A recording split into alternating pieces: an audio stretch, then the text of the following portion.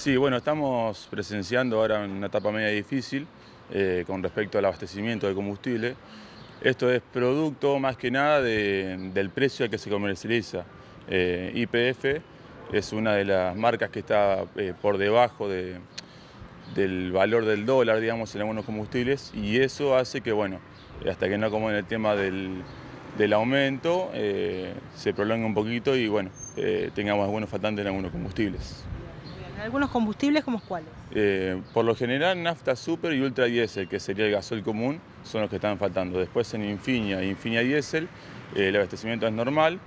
Lo que pasa también es que está creciendo la demanda porque el sector del, agro eh, tuvo un aumento un poquito más elevado que el de las petroleras como estaciones de servicios.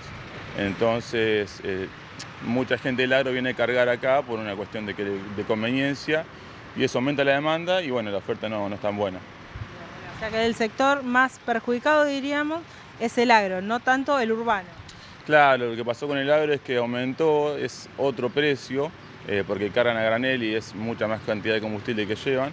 Entonces a ellos les renta más venir a las estaciones de servicio y bueno, ahí es donde un poco se están llevando eh, litros que por ahí lo, lo pueden cargar los vehículos livianos. ¿Qué pasa con el transporte? Con el transporte, no, acá la demanda sigue siendo bastante pareja, eh, no, vemos esa, esa bajada de ventas, por así decirlo. Eh, lo que sí muchas veces tenemos que, pedir disculpas por el tema del combustible, porque bueno, pareciera que la demanda crece, que cada vez es más gente la que viene, pero no tenemos el producto. Y, la verdad, bueno, es un poco lamentable y nos pone una, una posición incómoda, pero bueno, eh, hay que tratar de sacarlo adelante igual puede pasar en los próximos meses o por lo menos de aquí hasta fin de año? Por lo menos lo que es octubre, por lo que tenemos entendido, el precio se va a mantener por el acuerdo que tiene IPF con el gobierno, eh, que creo que de las petroleras es la única que lo está respetando, eh, por lo menos hasta el 31 de octubre, si no me equivoco.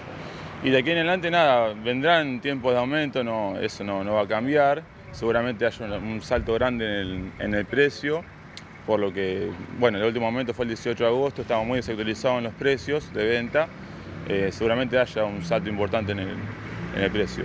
Y yo imagino que todos los meses será un aumento por mes seguramente, y bueno, y eso producirá que el abastecimiento empiece a, llegar. También lo que produce el, no tener el combustible es que hay cargamentos esperando para entrar a Argentina de, IPF, eh, obviamente pagados al exterior, pero el tema de la liberación de dólares es un problema también. El ciudadano tiene que estar alerta a qué es lo que vaya a pasar en las estaciones de servicio próximamente. Sí, sí, que mantenga la tranquilidad. Eh, es un tiempo de crisis, obviamente nadie es ajeno a eso. Eh, desde acá, nada, eh, vendemos todo lo posible, ojalá tuviésemos más combustible, nos encantaría atender a todos, pero es lo que tenemos. Lamentablemente le pedimos paciencia cuando lleguen a la estación. Nosotros vamos a tratar de avisar cuando tenemos combustible, lo hacemos mediante redes también. Eh, pero bueno, sí hay que estar atento y cuando tenga posibilidad de, llegar a la estación de calle combustible que no la dejen pasar porque está, se está viendo que hay demasiado faltante en algunos días. Bien, Faculto, por último te consulto, ¿cuánto están los litros de las diferentes naftas como para tener noción de hoy en día? Bueno, de nafta super está 291,20 y la competencia, que sería nafta infinia, está 369,30. En, cambio en los diésel, el ultra diésel, que es el, es el gasoil común, está en 323,90 y el Infinia diésel está en 420 pesos.